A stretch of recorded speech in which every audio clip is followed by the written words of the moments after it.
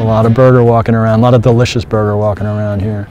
Hi there, I'm Dan Gibson of Grazin' Angus Acres. Uh, we have a 500 acre uh, Black Angus, grass fed and finished Black Angus farm. So everything that's served at our restaurants currently came from Grazin' Angus Acres. And we'll have a steer that will, at the end of about three years, have one very bad day at the end, just like the rest of us. We all have a bad day at the end. And how many burgers do you think you could get out of one cow? 700 burgers roughly at Eagle Bridge Custom Meats, which is an animal welfare approved processing facility. They are unloaded there. They just go right into where they need to go to be processed and it happens and it's over. It is a retractable bolt gun. There is a knock and it's over.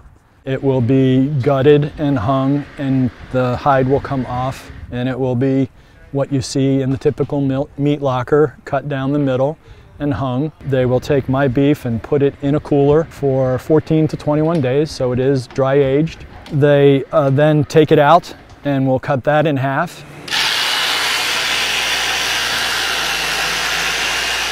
And take half at a time and cut out the primals and move uh, everything else to the side and ultimately then cut off the, the bits that are left for ground and they'll take the whatever I want that time. Sometimes I add the sirloin into the ground or the chuck or the round. All of that will then be ground up.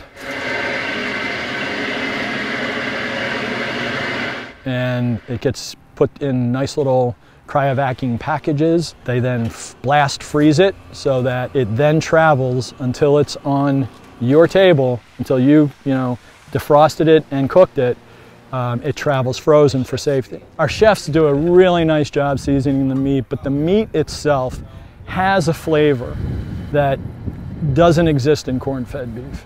Um, it's a flavor that you're hardwired, I think, to enjoy because they're meant to eat grass and we're meant to eat them. So I, I, literally think we're hardwired to enjoy that. So we think that we've overcome every single reason that you would not want to eat beef, except that you just don't like the flavor.